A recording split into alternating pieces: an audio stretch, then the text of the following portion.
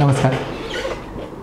आज मी आपल्याशी एका वेगळ्याच विषयावर संवाद साधणार आहे आणि तो विषय आहे सोशल एग फ्रीजिंग सगळ्यात पहिले मी थोडक्यात तुम्हाला सोशल एग फ्रीजिंग म्हणजे काय हे सांगतो. बेसिकली आपल्या सगळ्यांना माहिती आहे की यंग एजमध्ये जेव्हा तुम्ही लहान असता तेव्हा तुमचं ओव्हरीज चांगल्या काम करतात आणि तुमचं ओव्हुलेशन बरोबर होत असते आणि त्यावेळेस तुम्ही आई बनण्यासाठी सक्षम असता. परंतु जसं जसं वय वाढते तसं जसं तुमचा ओव्हरीजचा जो साठा आहे तो कमी होत जातो. आणि मग चाळीसच्या जवळपास जेव्हा तुमचं वय होतं तेव्हा तुमच्या ओव्हरीज काम करणं बंद करतात. प्रॉब्लेम हा आहे की आजकाल स्पेशली आपल्या इंडियन्समध्ये हे जे चाळीशीच्या जवळपास ओव्हरीज काम करणं बंद करतात तो प्रॉब्लेम तिशीमध्येच यायला लागलेला आहे. तीस ते बत्तीस वर्षाच्या स्त्रियांना ही समस्या भेडसावायला लागली आहे की त्यांच्या ओव्हरीजच काम करत नाही. मग अशा सिच्युएशनमध्ये बरेच जणं आणि आजकाल स्पेशली मोठ्या मोठ्या corporate companies I T companies या आपल्याकडे काम करणाऱ्या लोकांना अशी एक इन्सेंटिव्ह द्यायला लागले आहेत की तुम्ही तुमचे एग्स किंवा उसेट्स फ्रीज करून ठेवा आणि तुमच्या करिअरवर ल लक्ष द्या. आणि एकदा तुमचं वय वाढलं की मग तुम्ही मातृत्वाकडे जा. बरेच हॉलिवूडचे आणि बॉलिवूडचे स्टार्स हे देखील ॲक्टर्स हे देखील या गोष्टी करतात आणि त्याच्यामुळे त्याची पॉप्युलॅरिटी पण वाढते.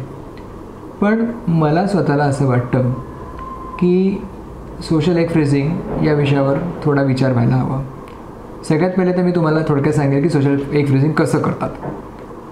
तर जर एखादी स्त्री किंवा मुलगी आमच्याकडे आली आणि तिने म्हटलं की मा आम्हाला उसेट्स प्रिझर्व करून ठेवायचे किंवा फ्रीज करून ठेवायचे तर आम्ही त्यांना इंजेक्शन्स लावतो आणि मग ॲनेस्थेशियाच्या साह्याने त्याच्या ओव्हरीजनं मधनं एका निडलच्या साह्याने सगळे ऊ सेट्स किंवा एक्स काढून घेतो. आणि नंतर ते एक्स आम्ही फ्रीज करतो जे की अनेक वर्षांपर्यंत तसेच राहू शकतात.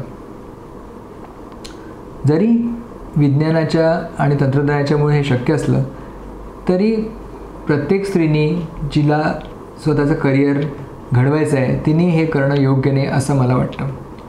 त्याच्यामागे अनेक कारणं आहेत. सगळ्यात पहिलं कारण हे मातृत्वाचं योग्य वय काय असावं हा विचार तुम्हाला माहिती असायला हवा. काय असतं की जसं तुमचं वय वाढतं तसं तुमची मातृत्व झेलण्याची क्षमता किंवा पेळण्याची क्षमता देखील कमी होते. जसं वाढतं वयामध्ये ब्लड प्रेशर डायबिटीज याचे प्रमाण पण वाढतात आणि त्याच्यामुळे कदाचित तुम्हाला प्रेग्नन्सीमध्ये कॉम्प्लिकेशन्स होऊ शकतात. आणि बाळणपण हा स्त्रीचा दुसरा जन्म असतो असं म्हणतात. आणि ते खरं देखील आहे.